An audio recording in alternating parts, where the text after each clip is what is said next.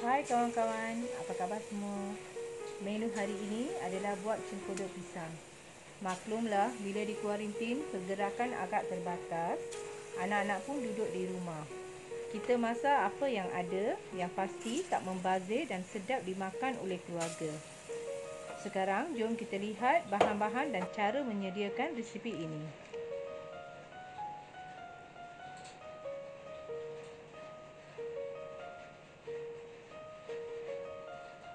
Ini pisang awak yang belum masak lagi, baru diambil dari pokok pisang.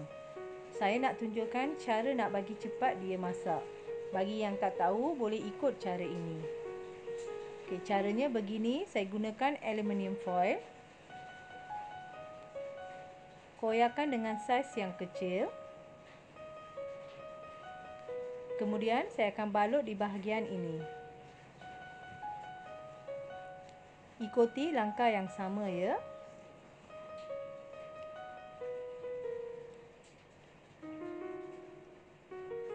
Okey, semua sikat pisang dah siap balut.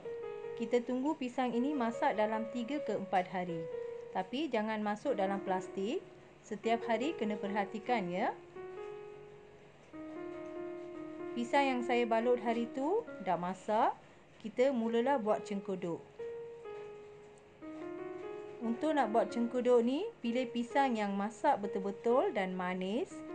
Kemudian kupaskan kulit dan masukkan ke dalam mangkuk yang lebar.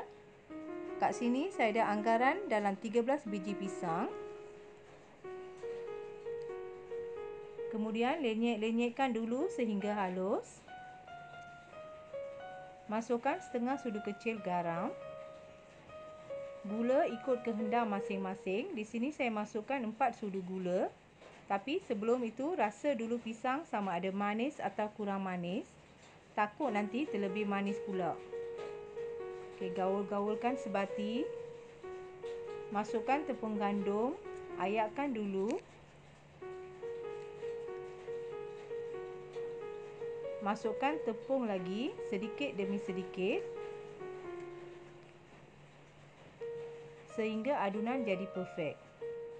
Kat sini saya masukkan tepung dalam anggaran satu setengah cawan. Kemudian gaulkan sebati.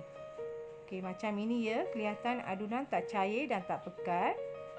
Okey, sekarang saya nak bagi tahu satu tips.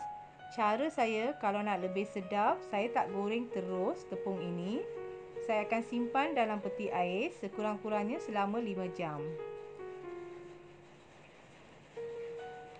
Ini dia adunan baru dikeluarkan dari peti ais. Sekarang kita mula menggoreng. Sebelum itu, panaskan minyak. Gunakan tangan yang bersih untuk menggaul adunan. Basahkan tangan supaya adunan tidak melekat. Okey, minyak dah panas. Pastikan minyak betul-betul panas. Jarakan supaya tidak melekat antara satu sama lain.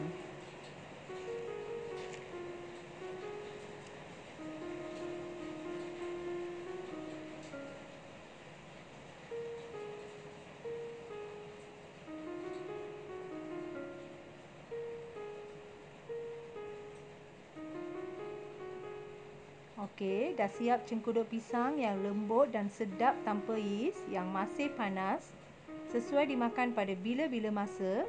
Cuba ya, jangan tak cuba. Terima kasih kerana menonton.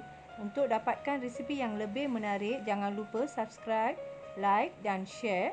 Yang penting, tekan butang loceng untuk dapatkan notification untuk video yang baru.